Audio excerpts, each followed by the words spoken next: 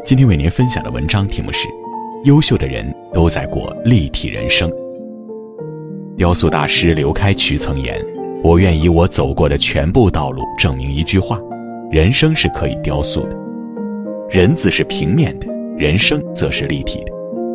出彩的人生如同一件精美的雕塑作品，从来都不是一蹴而就的，而是经过用心的雕琢形成的。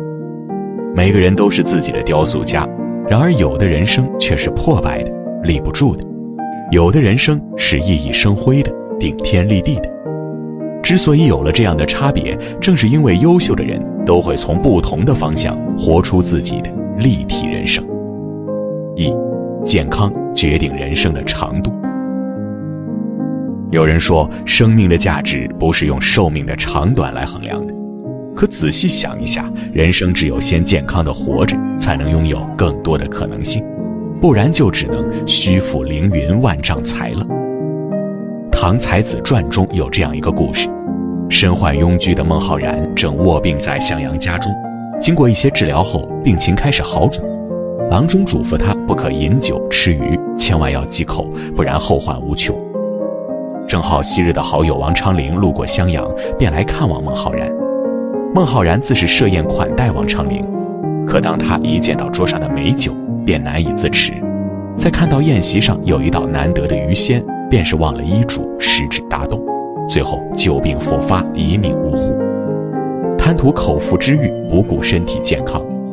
孟浩然在知天命的年纪，却糊涂行事，着实令人惋惜。相比之下，范仲淹则显得更具智慧。范仲淹在求学时也十分重视锻炼身体，不论春夏秋冬，每天早晨他都能起来练上一套剑术，他也因此获得了强健的体魄。范仲淹还非常重视家人的健康，在教子家书里劝告家人要爱惜身体。范仲淹用健康让自己走过花甲，更是让健康的观念在家族中生根发芽，绵延后世八百年而不绝。教育家陶行知曾说：“忽略健康的人，等于在与自己生命开玩笑。一个人所能犯的最大错误，就是拿健康来赌身外之物。如是这样，那你从一开始就注定是输家。事业的成功、家庭的幸福、人生的美满，都需要用健康的身体去创造。没有时间投资健康，一定有时间得病。坚持锻炼身体，合理饮食，保证睡眠。”劳逸结合，总能让自己收获安然无恙的幸福感。二，心态决定人生的宽度。宋代慧开禅师有一首耳熟能详的名句：“若无闲事挂心头，便是人间好时节。”生命中的得失与悲喜，在很大程度上取决于一个人的心态。放宽心态，方得自在。韩愈从小刻苦努力，立志科举。但他一连考了三次都失败了，然而他不以为意，一直努力准备。第四次科举，韩愈终于中了进士，入朝为官，做了国子监四门博士的韩愈却高兴不起来，因为小小的官职并不能让韩愈养家糊口。为了能够改善生活，韩愈做起了兼职，写墓志铭。谋生的手段本没有高低贵贱之分，但韩愈写墓志铭的事情却成了大唐官场的一个笑话。许多人说韩愈丢了读书人的气节，更丢了官场的脸面。韩愈对此不以为然，相反，他更加认真地对待自己的每一位顾客。认真的态度加上超凡的才华，让他成为墓志铭行业中顶尖的精英。韩愈写墓志铭的价格也被越炒越高，收费动不动就是马一匹、丙安、弦及白玉腰带一条，这可比原来一年的工资还多。而这一切都是因为他凡事看开，用自己的宽阔心胸释怀了命运的捉弄。丰子恺在《豁然开朗》中写道：“既然无处可逃，不如喜悦；既然没有净土，不如清心；既然没有如愿，不如释然。人生过的是心情，生活活的是心态。正如费斯汀格法则所说，人生中百分之十的事件是由发生在你身上的事情组成。”而另外百分之九十，则是你对事情如何反应决定的。物随心转，境由心造。一个宽广的心态，便是能够面对苦难的定盘针。在生活中，我们不能控制自己的遭遇，但可以控制自己的心态，让自己心胸豁达一些，内心的郁结也就随之消散。心宽了，人生也就宽敞明亮了。阅读决定人生的深度。叶圣陶先生曾说：“读书让生活有温度，让灵魂有湿度，让生命有深度。”阅读可以让我们在有限的人生里体会更多的人生百态，让我们的人生得以沉淀，获得深厚的底蕴。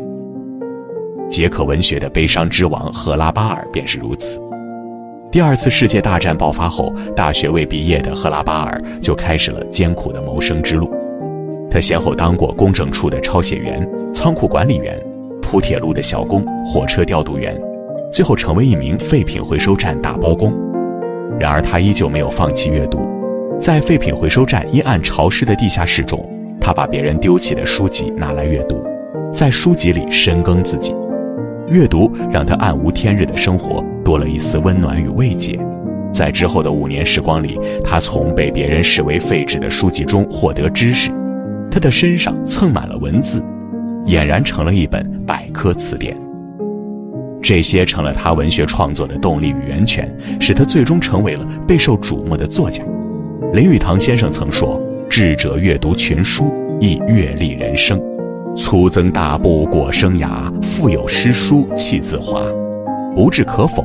想要成为一个有深度的人，阅读是最简单、投资最少的办法。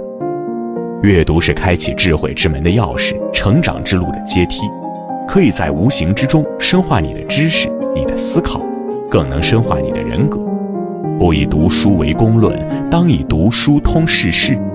阅读虽然不能给你带来直接利益，但可以滋养你的，养成乐于阅读的习惯，可以让我们摆脱浮躁，获得沉淀，让自己更具深厚内涵。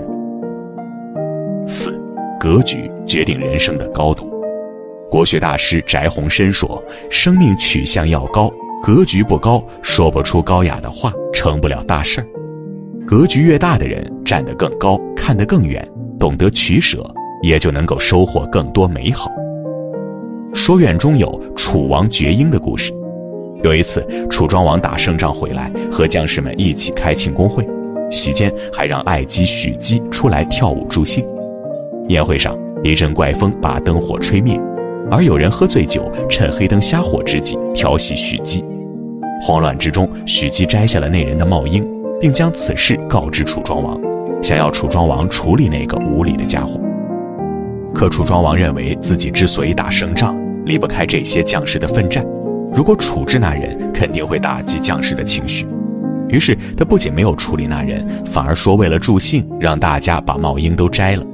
那人也明白楚庄王的用意，从心底感激他的宽宏大量。七年之后，楚庄王大举讨伐郑国。此时，一位名叫唐角的将军主动请缨打头阵。唐角不负众望，以少胜多，打到郑国国都。楚庄王十分高兴，准备论功行赏，可唐角却拒绝了。他对楚庄王说：“大王，您在七年前的宴会上就已经赏赐过我了，我怎么还敢接受封赏？”原来他就是当年醉酒调戏许姬的那个人。楚庄王并没有因此而惩罚唐角，因为唐角能征善战，对自己的争霸事业是一必助。所以楚庄王不仅没有惩罚唐角，还将许姬许配给唐角。此后，唐角更是奋战不懈，为楚庄王的逐鹿中原立下了汗马功劳。而这一切都离不开楚庄王那非凡的格局。曾国藩说。谋大事者，首重格局。大格局是一种不拘小节的境界，更是一种舍得之间的智慧。人的生命格局一大，就不会在琐碎装饰上沉陷，他们会站在更高的位置，全面地看到问题，更懂得统筹安排，提纲挈领。一个人能达到什么样的高度，在于他的格局，而格局里也藏着他的结局。人生的起点多是相同的。但每个人的活法却大不相同，人和人之所以活得不一样，原因就在这四个维度上：珍惜健康的人拥有长寿，懂得宽心的人享受自在，坚持阅读的人收获沉淀，提升格局的人赢得成就。在漫长的人生旅途中，总有一个生命维度是改变生命的杠杆，生涯平衡点就在其后面。正如王蒙先生所说：“也许你不能留名青史，但至少应该对得起自己的这仅有的几十年。也许你未能立德、立功、立言，但至少是充分发挥出了自己一生的能量。也许你的诸多努力未能奏效，但是最后结账的那一天。”你至少可以说我已尽力了。人生的开始是美好的，结局是自己塑造的。虽然难求完美，但只要把握好这四个维度，便不会虚度。如此，足矣。